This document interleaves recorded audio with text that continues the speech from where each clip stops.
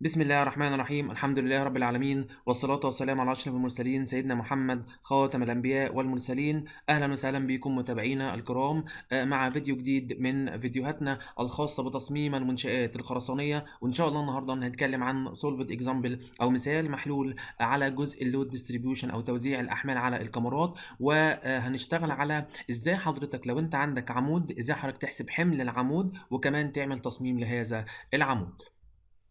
المثال اللي معانا ده كده plan عبارة في مجموعة من ال- الكمرات. دي عندنا كمرة B واحد. الكمرة دي بالنسبة لنا تعتبر simple beam يعني إيه simple beam يعني كمرة تعتبر باكية واحدة أو بحر واحد مش مكملة معانا. اهي يبقى مطلوب من حضرتك إنك تعمل حسابات الأحمال على الكمرة B رقم واحد. ومطلوب إن حضرتك تحسب حسابات الأحمال على الكمرة B رقم 2 والكمرة B رقم 3 والكمرة B رقم 4 لو إحنا بصينا كده يا جماعة الكمرة B 2 دي برضو تعتبر كمرة simple beam يعني باكية واحدة أهي طولها كام يا عم؟ طولها 5 متر. والكمرة B 1 طولها كام؟ طولها 4 متر ونص. طب الكمرة B 3 حضرتك هنا ما, ما, ما تكونش متخيل إن الكمرة B 3 دي باكية واحدة. لا هو أنا كتبت لك ال B 3 هنا عند الباكية دي بس حضرتك لما تيجي تشتغل على الكمرة B 3 هتشتغل على ال axis كله من الأول للآخر. يبقى الكمرة B 3 دي تعتبر كمرة continuous beam مكملة معايا كام باكية يا جماعة؟ ثلاث باكيات. البحر الأولاني 4 متر ونص والبحر الثاني 4 متر والبحر الثالث 4 متر. كان ممكن برضه أكتب لك ال B 3 تحت. كان ممكن أكتب لك ال B 3 تحت خالص على الحرف أو على الباكيه اللي هي طولها 4 متر. أنا طبعا بكتبها لك مرة واحدة. حضرتك بقى بتبص على ال axis كامل الخطين بتوع الكمرة مكملين معاك منين لحد فين؟ فكده الكمرة B 3 بالنسبة لنا تعتبر الكمرة continuous beam نفس الفكرة برضو الكمرة B 4 الكمرة B 4 دي مين شايلها؟ العمود دوت من الأول والعمود دوت من النص والعمود دوت من الآخر يبقى في الآخر حضرتك الكمرة B 4 تعتبر كمرة مستمرة برضو بس كام باكيه باكيتين أو تعتبر two span أو بحرين متجاورين. البحر الأولاني عندنا خمسة والبحر الثاني 5 متر. ده كده بالنسبة للأربع كمرات. خلينا كده نشوف إيه اللي موجود عند حضرتك في المسألة. بيقول لي for the structure plan ال plan الإنشائي اللي حضرتك شفته it is required to مطلوب منك calculate تحسب the equivalent ultimate loads. تحسب حضرتك الأحمال في صيغة ال ultimate طبعا إحنا كنا اتكلمنا يا جماعة في فيديوهات سابقة هسيب إن شاء الله لحضراتكم ال link الخاص بيها في الوصف التفصيلي أسفل الفيديو على آه، طريقة الأحمال أو طريقة حساب الأحمال على الكمرات. وكنا قلنا إن في عندنا طريقة dead load و live load وطريقة ال working load وطريقة ال ultimate load مطلوب منك بقى في المسألة دي إنك تحسب الأحمال في صورة ال ultimate for shear and moment برضو shear and moment دي اللي هي المعاملات اللي إحنا كنا مسمينها لو حضراتكم تت- تفتكروا معانا اللي هو الفا ومين؟ الفا وبيتا. moment اللي هو المعامل أو ال factor الفا وال shear اللي هو المعامل البيتا.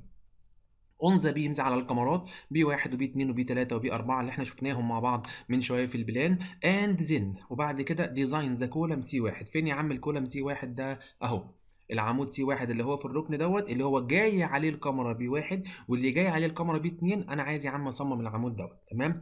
أنا دلوقتي يا جماعة لسه قايل إيه؟ الكمرة B 1 هي اللي جاية على العمود ما هي ال B 1 دي في الآخر هتسلم حملها لمين؟ هتسلم حملها للعمود دوت من تحت وهتسلم حملها للعمود ده من فوق. الكمرة B 2 هتسلم حملها للعمود اللي على الشمال وللعمود C 1 اللي أنا برضو عايزه. يبقى كده C 1 يعتبر لم الأحمال أو يعتبر استلم أحمال من الكمرة B 1 ومن الكمرة B 2 هنعرف إن شاء الله إزاي حضرتك بعد ما تصمم أو بعد ما تحسب أحمال الكمرة B 1 و B 2 إزاي توصل هذه الأحمال إلى العمود C 1 وكمان تعمل تصميم للعمود؟ مديني من باقي المعطيات ال live load عندنا بأربعة ال floor cover ب 2 كيلو نيوتن على المتر مربع slab thickness أو سمك البلاطة 120 ملم all beams are 250 في 600 ده القطاعات الخاصة بالكمرات اللي هو عرض الكمرة. 250 مللي وال thickness بتاع الكمرة 600 مللي. height of floor ارتفاع الدور 3 متر. wall thickness السمك بتاع الحيطة 120 مللي. يعني يعتبر الحوائط عندنا على نص طوبة. number of story 10 stories يعني إيه يا عم الكلام دوت؟ حضرتك عندك هنا 10 أدوار. طب هعمل إيه بال10 أدوار ديت؟ هنحتاجها وإحنا بنعمل design للعمود. تمام؟ هنعرف طبعا الكلام دوت إزاي بعد شوية. Fcu اللي هو إجهاد الخرسانة 25 نيوتن على المليمتر مربع وال Fy 350 نيوتن على المليمتر مربع. خلينا كده نستعرض شكل توزيع الأحمال على الكمرات. إحنا كنا قلنا يا جماعة شكل توزيع الأحمال على الكمرات بيعتمد في الآخر على نوع البلاطة. البلاطة عندنا 1 way أو 2 way البلاطات ال1 way اللي هو لما يكون حضرتك نسبة الكبير على الصغير أكبر من 2 البلاطات ال2 way لما يكون نسبة الكبير على الصغير أصغر من أو يساوي 2 طيب حضرتك لما تيجي تمسك البلاطة اللي فوق دي كده البلاطة دي أبعادها كام في كام يا عم؟ 5 متر طولها وعرضها 4 متر ونص. لما تيجي تقسم 5 على 4 ونص هيطلع 1 1 من 10 أصغر من 2 يبقى كده البلاطة دي 2 way يبقى الأحمال بتاعتها هتمشي في الاتجاهين على الأربع كمرات. كنا قلنا بتيجي قصاد الطول الكبير عندك هنا 5 متر بتيجي قصاد الطول الكبير وتعمل خط كده وتوصل عندك بالأربع أركان بتاعة البلاطة. أو حضرتك بتطلع من الأربعة كورنرز على زاوية 45 درجة بتنصف الزاوية 90 تطلع على زاوية 45 تنزل بزاوية 45 وتنزل من هنا وتنزل من هنا هتلاقي في الآخر الشكل عندك اتنين شبه منحرف واتنين مثلث. وكنا قلنا برضو إن ارتفاع شكل الحمل هو عبارة عن نص الطول القصير للبلاطة اللي أنت شغال فيها. أنا دلوقتي شغال على بلاطه أربعة ونص في خمسة القصير بأربعة ونص نص القصير اللي هو نص الأربعة ونص هيساوي اتنين خمسة وعشرين من مية. نفس الفكرة برضه يا جماعة. آه، البلاطة اللي تحت اللي هي آه، آه، أبعادها 5 في 4 برضو البلاطة دي لما تيجي حضرتك تقسم 5 على 4 هيطلع لك أصغر من أو يساوي 2 البلاطة كده بالنسبة لنا هتشتغل 2 واي يبقى حضرتك برضو هتيجي تعمل خط قصاد الطول الكبير اهو موازي للطول الكبير وتوصل برضو بالأربع أركان. ونفس الكلام بالظبط للبلاطة المجاورة اللي هي برضو 5 في 4 وارتفاع برضو شكل الحمل هو نص الطول القصير. القصير هنا بأربعة يبقى 4 على 2 بيساوي 2 طبعا يا جماعة ال 2 متر دي مقصود بيها هنا ومقصود بيها شكل شبه المنحرف اللي فوق وشكل المثلث اللي على الشمال وشكل المثلث اللي على اليمين. هتيجي بقى حضرتك للبلاطة دي. البلاطة دي كده بالنسبة لنا طولها اللي هو يعتبر 10 متر. طولها 5 و5 10 طب عرضها كام؟ 4 هتقسم حضرتك 10 على 4 هيطلع 2 ونص. معنى كده إن الرقم ده أكبر من 2 يبقى كده البلاطه دي هتشتغل one way يبقى الأحمال بتاعتها هتتوزع في اتجاهين فوق وتحت يبقى الأحمال هتمشي في اتجاه القصير. طبعا إحنا قلنا لو الأحمال مشيت one way يبقى نص الحمل عندك أو نص البلاطة هيمشي في الاتجاه آه هيمشي في اتجاه الحمل البلاطة هيمشي في اتجاه القصير نص البلاطة عندك هيبقى فوق أو هيروح للكاميرا الأولى والنص التاني هيروح للكاميرا التانية اللي هي اللي تحت بالشكل اللي حضراتكم شايفينه ده كده. وبرضه ارتفاع شكل الحمل يساوي نص الطول القصير القصير عندنا بأربعة يبقى أربعة على اتنين بيساوي اتنين متر. أنا كده عملت لود ديستريبيوشن توزيع أحمال البلاطات على الكمرات. طيب نمسك بقى كده حضرتك الكمرات اللي أنا طالبها منك. الكمرة B واحد عليها شكل إيه يا عم؟ مثلث ارتفاعه اتنين وربع. نيجي كده على الكمرة B واحد. كمرة B واحد طبعا بنحسب أول حاجة ال own weight المعادلة الخاصة بال own weight b في t ناقص ts في جاما RC اللي هو كثافة الخرسانة ال b 25 من 100 متر التخانة بتاعت الكمرة 6 من 10 given طبعا ال ts سمك البلاطه 12 سم أو 12 من 100 متر كثافة الخرسانة 25 كيلو نيوتن على المتر المكعب حسبت حضرتك ال own weight طلع 3 كيلو نيوتن على المتر الطولي ال wall load اللي هو أحمال الحوائط هو عبارة عن سمك الحيطة t wall في ارتفاع الحيطة اتش وول في جاما brick اللي هو كثافة الطوب t wall هو قايل لك إن ال wall thickness ب 12 ب 120 مللي يعني 12 سم يبقى 12 من 100 متر. ارتفاع الحيطة كنا قلنا برضه حضرتك هو مديلك في المسألة ارتفاع الدور ب 3 متر. عشان تستنتج ارتفاع الحيطة يبقى ارتفاع الحيطة هو عبارة عن ارتفاع الدور ناقص سمك الكمرة سمك الكمرة اللي هو هنا 60 سم أو 6 من 10 متر. كثافة الطوب ما جابش في المسألة أي سيره عن نوع الطوب المستخدم أو عن كثافة الطوب فحضرتك ممكن تفرضه تقريبا من 13 أو 14 إلى 18 كيلو نيوتن على المتر المكعب أنا افترضته 16 هيطلع الوول لودز بيساوي 4 61 من 100 كيلو نيوتن لكل متر طولي. وكده وزن الكاميرات كلها هيكون 3 ووزن الحوائط كلها هيكون كام؟ 4 61 من 100 طبعا لأن أنا ما عنديش اختلاف في أبعاد البلاطات أو في أبعاد الكاميرات أو في أبعاد الحوائط.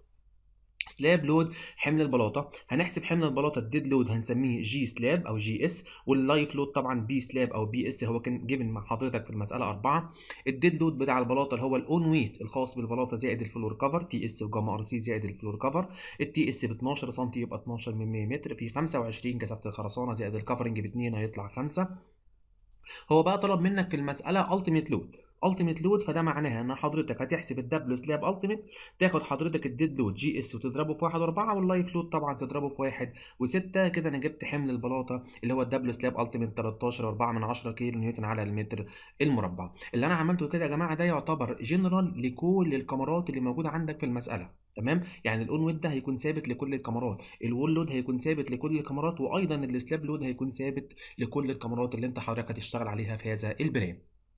إيه بقى اللي هيختلف؟ اللي هيختلف شكل الأحمال اللي جاية من البلاطة. يعني مثلا الكاميرا بي واحد هتشتغل عليها حمل مثلث ارتفاعها باتنين وربع. طب الكاميرا بي اتنين هتشتغل حمل ترابيزويدال أو شكل شبه منحرف وأيضا ارتفاعه بكام؟ باتنين وربع. إحنا اتفقنا إن ارتفاع الشكل بيكون ثابت جوه نفس البلاطة. يعني ارتفاع شبه المنحرف ده برضه هيكون حضرتك باتنين خمسة وعشرين من مية متر. دي الكمرة B واحد اهي ال ordinate أو الارتفاع بتاع شكل الحمل إحنا كنا بنسميه x بيساوي 2.25 من 100 آه حضرتك لو تفتكر معايا إن إحنا قلنا إن في معاملات عندنا اسمها ألفا وبيتا. ألفا ده المعامل اللي أنا بستخدمه عشان أحسب الحمل الخاص بعد كده آه برسم ال bending moment diagram وبيتا هو الحمل الخاص برسم ال shear force diagram. المثلث الحالة بتاعته طبعا معروفة ألفا ب 67 من 100 وبيتا بيساوي نص. والمستطيل ألفا وبيتا بيساوي واحد. طب ال trapezoidal ألفا وبيتا بجيبهم من الجدول اللي إحنا كنا استعرضناه أيضا في الفيديوهات السابقة. لما تيجي بقى حضرتك تحسب ال total loads الأحمال الكلية على الكمرات هو عبارة عن ال own weight زائد ال wall load زائد ال slab load بس ناخد بالنا إحنا دلوقتي شغالين ultimate يبقى ال own weight وال wall load انت حسبتهم من شوية working ما خدتش معامل أمان يبقى لازم هنا ناخد معامل أمان 1.4 من 10 أو حتى ممكن تشتغل عليها 1.5 مفيش مشكلة. طيب ال W slab ultimate دخل فيها معاملات الأمان ولا لأ؟ لو إحنا رجعنا كده يا جماعة خطوة لورا بصوا كده ال W slab ultimate دخل فيها معاملات الأمان 1.4 1.6 فأنا كده بالنسبة لي الجزء ده أو ال term دوت جاهز كده يعتبر ultimate load حمل البلاطة بضربه في ألفا للشكل اللي أنت شغال عليه بضربه في x اللي هو ارتفاع الشكل. ال own weight وال wall load انت حاسبهم. W slab ultimate أنا حاسبه هو 13 4 من 10 الفا للمثلث ب 67 من 100 x يا عم الارتفاع بكام؟ ب 2 وربع كده جبت ال W total الفا اللي هو 30 85 من 100 نفس الكلام حضرتك هتعيده W total بيتا نفس الكلام بالظبط. مع استبدال بس هنا هتحط القيمة بتاعه البيتا بيساوي كام؟ 5 من 10 أهو بدل الالفا فوق كانت بكام؟ ب 67 67 من 100 هيطلع عن W total بيتا طبعا أصغر شوية من قيمة ال W total الفا طلع ب 25 73 من 100 كيلو نيوتن لكل متر. كده حضرتك الكمرة B واحد خلصت. بترسم الكمرة تحط عليها uniform load اللي حضرتك لسه حاسبه بدلالة الألفا وبدلالة مين؟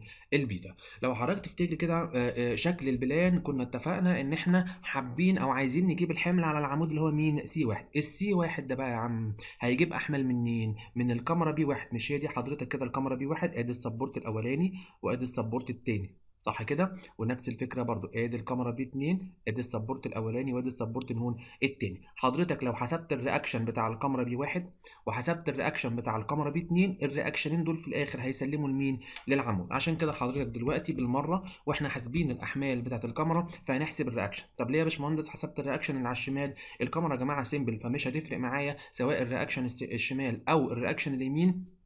الاثنين في الآخر هيساووا بعض. طيب لما تيجي تحسب ال reaction وبرده كنا اتفقنا على الجزئية دي قبل كده بتحسب ال reaction بدلالة حمل ال shear. بدلالة حمل ال shear يعني في الآخر هستخدم الصورة عندنا بيتا. أهو ال reaction عندنا بيساوي W total بيتا في L على 2 25 73 في 4.5 على 2 هيطلع ال reaction 57.9 من 10 كيلو نيوتن. ده رد الفعل اللي جاي من الكمرة B واحد واللي هيروح في الآخر للعمود مين؟ C واحد. زي ما عملت الأحمال على الكمرة B واحد هنشتغل برضو الأحمال على الكمرة B 2 بس هناخد بالنا الكمرة B 2 عليها شكل إيه؟ شبه منحرف بدل المثلث اللي كان رايح ل B واحد. إحنا كنا اتفقنا إن شكل شبه المنحرف ألفا وبيتا آه بيكونوا مش ثابتين. بجيبهم من جدول على حسب الآر. مين الآر بقى؟ حضرتك. الآر تعتمد على أبعاد البلاطة اللي جاي منها شكل شبه منحرف وطبعا شكل شبه منحرف جاي من هنا. عبارة عن إيه بقى؟ الكبير عندنا بكام يا عم؟ بخمسة والصغير عند حضرتك بكام؟ أربعة ونص. هتحسب الكلام دوت هيطلع عندك واحد وحداشر من مية. هتفتح الجدول اللي موجود في الكود المصري واللي موجود في كتاب الدكتور شاكر البحيري. صفحة 178 آخر جدول عند حضرتك في الصفحة من تحت. هتجيب قيم الألفا وقيم البيتا. ادي الكمرة B 2 ادي شكل شبه المنحرف قيمة ال r ب 1.11% جبنا الالفا والبيتا من الجدول ونفس الخطوات السابقة بالظبط ال W total يا عم عبارة عن إيه؟ واحد وأربعة من ال own weight زائد ال wall load خلاص بالنسبة لنا كده الجزئية دي خلاص هتكون ثابتة في كل الكمرات. واحد وأربعة من ال own weight زائد ال wall load لأن أنا كل الكمرات هشتغلها في صورة ال ultimate الاختلاف بس هو الجزء الثاني أنت عندك الجزء الثاني فيه إيه؟ فيه يعتبر W slab ultimate مضروب في المعامل الفا عشان أنت هنا بتحسب الفا ومضروب في ال ordinate اللي هو مين X اللي هو ارتفاع شكل الحمل. الالفا عندنا 7.725 ال W slab ultimate 13 و4 ال X عندنا ب 2 وربع حسبت الحمل في صورة الألفا نفس الفكرة صورة البيتا كل اللي حضرتك هتعمله. هتشيل ألفا اللي هي 0.725 وتحط مكانها قيمة البيتا اللي هي 0.545 كده أنا حسبت الحمل في صورة الألفا والبيتا. هترسم الكمرة. الكمرة طبعا عندي simple.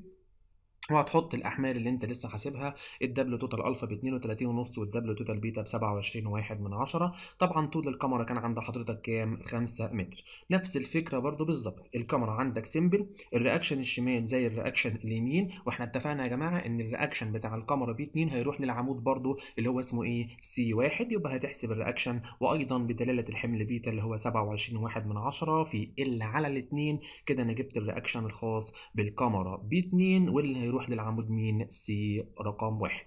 طيب نستعرض كده شكل ال plan تاني عشان نبص على الكمرة اللي هي B رقم 3 الكمرة B 3 اهي يا جماعة هي دي الكمرة B 3 فين بقى الأحمال اللي موجودة عليها؟ حضرتك هتبص كده الكمرة ثلاث باكيات اهي 4 ونص و4 و4 الأربعة ونص على شكل مثلث ارتفاعه باتنين وربع.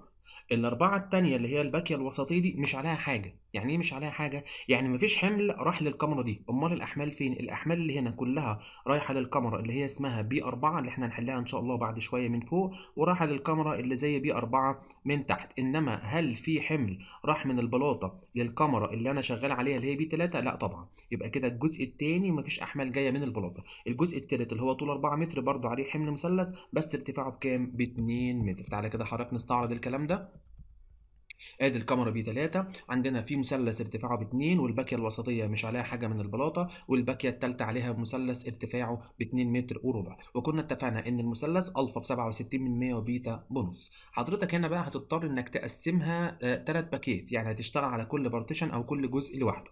تمام؟ أنا عندي بين ال support الأولاني وال support الثاني في شكل مثلث أهو.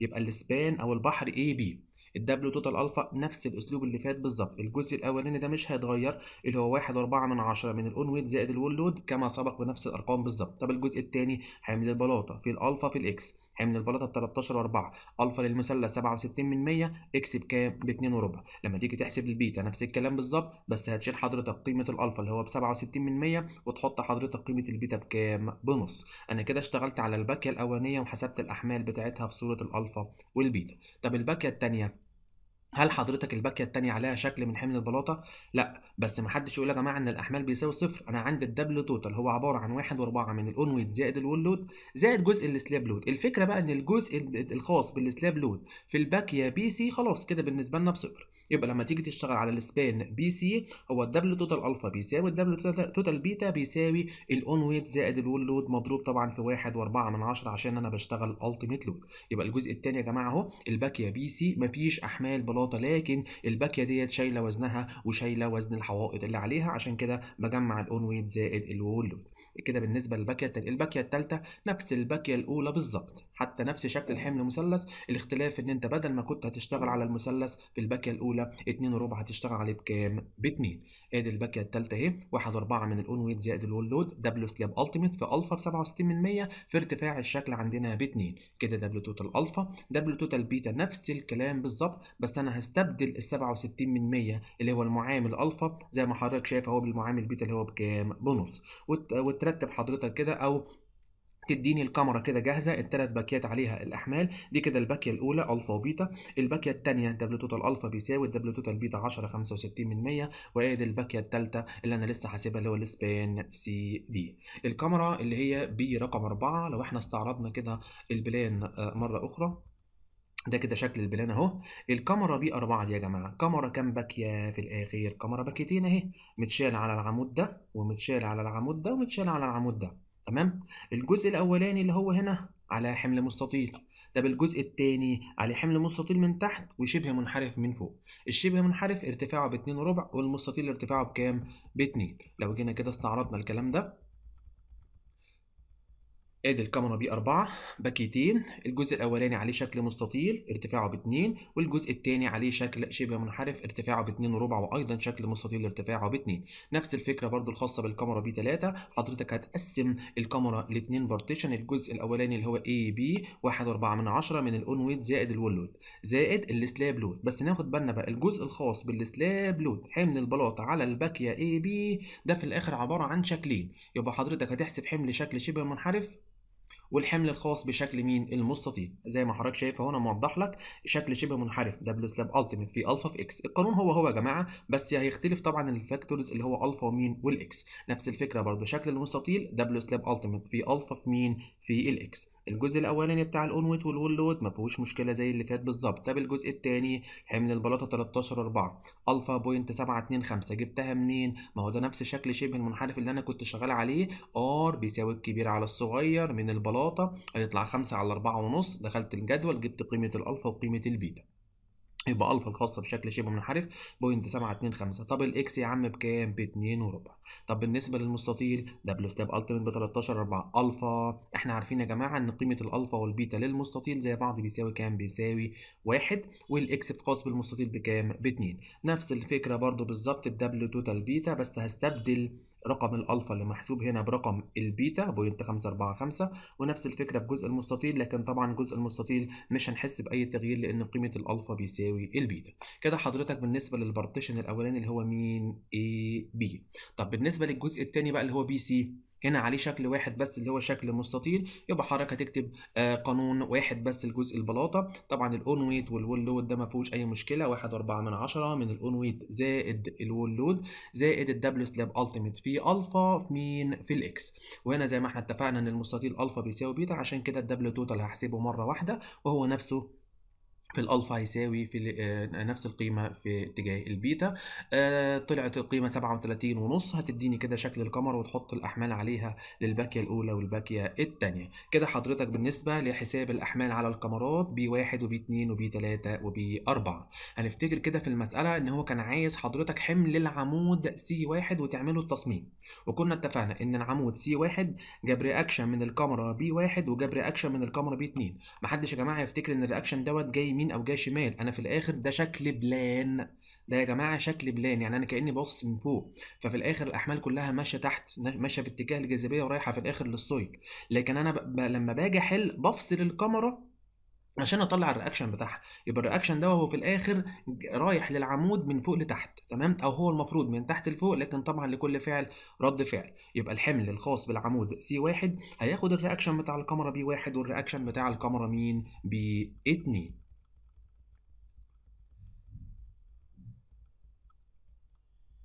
ده كده بالنسبة لكل ما هو C واحد. العمود C واحد يحمل ردود أفعال reactions من الكمرات B واحد و B اتنين. وطبعا لو في كمرات تانية كنت هاخدها معايا في الاعتبار. يعني مثلا لو أنا قلت لك تعالى اعمل لي يا عم حسابات العمود ده. العمود ده هياخد reaction من الكمرة دي وياخد reaction من الكمرة دي وياخد reaction منين؟ من الكمرة اللي تحت. تمام يا جماعة؟ نفس الفكرة برضو العمود ده. هياخد reaction من الكمرة دي وهياخد reaction من الكمرة دي وهياخد reaction منين؟ من الكمرة دي. لكن أنا طبعا دلوقتي العمود C واحد جايب reaction من B واحد و B اتنين فقط. ال reaction اللي أنا حسبته من ال B واحد كان طلع 57 و9 من عشرة B 2 كان طلع 67 و8 من عشرة. إيه بقى اللي هيحصل؟ حضرتك هتجمع ال reaction ين دول مع بعض. يبقى ده كده مجموع ال reaction ات الخاصة بالعمود بس الكلام ده فين يا جماعة في دور واحد بس لأن أنا بحل بلاطه دور واحد بس. لو تفتكر معايا كان معطى في المسألة عدد الأدوار بيساوي 10 عشان كده حضرتك لما تيجي تحسب بقى ال P ultimate اللي إحنا كنا بنستخدمه في معادلة العمود ال short column تمام؟ هو عبارة عن إيه بقى؟ مجموع reaction ات الأعمدة أهو اللي هو B 1 و B 2 الكلام ده لو أنت شغال في دور واحد خلاص أنا كده خلصت. لكن طبعا أنا عندي 10 أدوار فأنا هضطر أضرب الكلام دوت فين؟ في عدد الأدوار. وطبعا بناخد كده factor زيادة شوية عشان حضرتك تاخد وزن تأثير أو تأثير وزن العمود معاك في الاعتبار فبنضرب الرقم دوت في واحد واحد من عشرة أو واحد وخمستاشر من مية. يبقى لما تيجي تحسب حمل عمود اللي هو ال P ultimate وأنا بأكد حضرتك P ultimate لازم تكون جايب ال reaction ات والأحمال في صورة ال ultimate load وبالفعل أنا جايب الأحمال في صورة ال ultimate load يبقى P ultimate هو مجموع ال reaction ات مضروب في عدد الأدوار مضروب في واحد وواحد من عشرة.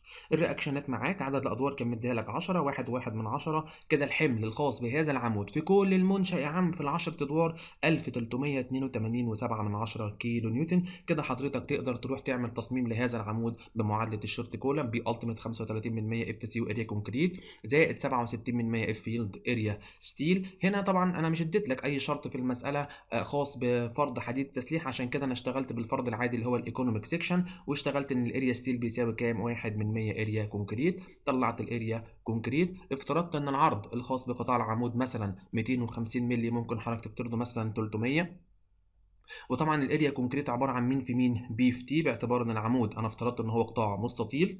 آه، التخانة هو عبارة عن المساحة على العرض. طلعت التخانة 498 ونص هنقربها لاقرب 50 مللي بالزيادة. يبقى كده حضرتك العمود هو عبارة عن 250 مللي في 500 مللي يعني حوالي 25 سم في 50 سم هنروح تحسب ال area steel. هو عبارة عن 1 من 100 من area concrete اللي أنت اشتغلت عليها. بس ناخد بالنا area concrete ديت مش اللي طلعت يا جماعة من المعادلة. area concrete اللي أنت اخترتها. يعني إيه؟ أنت مطلع area concrete 1 2 4 6 2 3 و7 من 10 ملم مربع. حوالي 124623 و7 من 10 ملم مربع. تمام؟ هل هي دي اللي أنت هتنفذها؟ لا أنا نفذت كام بقى؟ أنا نفذت 250 في 500 أكتر منها بشوية. تمام؟ فعشان كده لما تيجي تحسب الواحد من 100 تحسبها من المساحة اللي انت هتنفذها أو اللي انت هتختارها. اهي زي ما حضرتك شايف واحد من 100 من ال B في ال T طلع معانا 1250 ملم مربع. سي مثلا لو أنا هشتغل آه، phi 16 فهقسم على مساحة السيخ الواحد phi 16 اللي هي 201 طلعت الرقم عندنا آه، طلع 6 وكسر. ما ينفعش طبعا إن أنا أقربه لسبعة لازم يكون الرقم زوجي. فأنا اشتغلت على 8 phi 16 وتروح بعد كده حضرتك بقى ترسم ب scale 1 ل 10 شكل ال cross section العمود 25 سم لما تقسمه على 10 يبقى 2 سم ونص 50 سم أو 500 مللي. ال 50 سم لما تقسمهم على 10 حوالي 5 سم يبقى أنت كده هترسم 2 سم ونص في 5 سم وتيجي حضرتك ترسم جوه كده الشكل أو المحيط الخارجي الخاص بالكانة واتفقنا إن أول حاجة حضرتك هتحط سيخ في كل ركن. أنا عندي التسليح في الآخر كام يا جماعة؟ أنا عايز أوزع 8 phi 16 يبقى أنا هحط سيخ في كل ركن. هيتبقى لك كام؟ أربعة. بحط اتنين فوق واتنين تحت. تمام كده؟ يبقى دي كده التمن تسياخ بتوع حضرتك. لازم تتشيك على حاجتين. المسافة بين الأسياخ ما تزيدش عن 250 مللي. هنحسبها إزاي؟ العمود في الآخر خرسانة خرسانة 500 مللي. يبقى من الكانه للكانه تقريبا 450 على اعتبار إن أنا هسيب كفر من الناحيه دي 25 وكفر من الناحيه دي 25 لما تيجي حضرتك تقسم ال 450 على 3 هيطلع كام؟ 150 ملي متر أصغر آه، أصغر من 250 تمام يا عم يبقى كده المسافة بين الأسياخ موفية طبقا للكود المصري. حاجة تانية. حضرتك في الأول أنت بتحط الكانه الخارجية بس الكانه الخارجية اللي هي الكانه الكبيرة دي.